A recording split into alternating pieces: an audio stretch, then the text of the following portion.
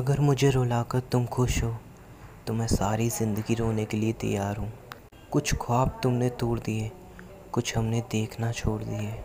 बचपन में कहानी सुनकर सोते थे, आज अपनी ही कहानी पर रोकर सोते हैं।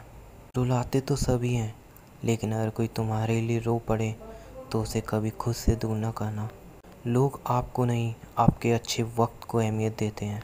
आज उसने रुलाया है, जिसने मुस्कुराना सिखाया था। ज़रा सोच कर दिल तोड़ा करो। हर गुना की माफ़ी नहीं होती। फासलों का एहसास तब हुआ जब मैंने कहा मैं ठीक हूँ और उसने मान भी लिया। कुछ हार गई तकदीर, कुछ टूट गए सपने, कुछ गैरों ने किया बर्बाद, कुछ भूल गए अपने।